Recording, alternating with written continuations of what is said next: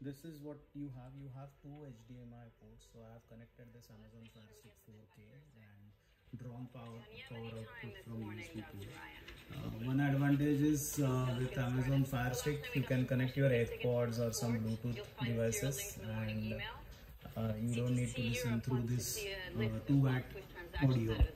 There is also audio out so if you are you if you have a sitting arrangement such that you can put a audio cable to uh, either a sound bar or a long cable to your headphones that will solve the purpose. Yes, sir.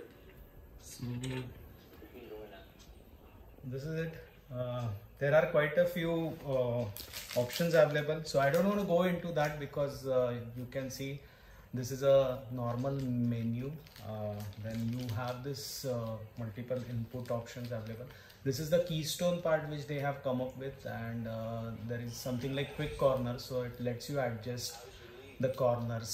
And so you can select that and then go in. So you'll see that the image is going in kind of a thing.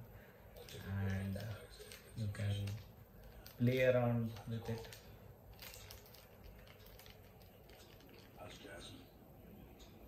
So depending upon how you project uh, this is what you can do. I have not done uh, too many other things like um, eye projection app is there uh, that i'm not uh, i haven't done.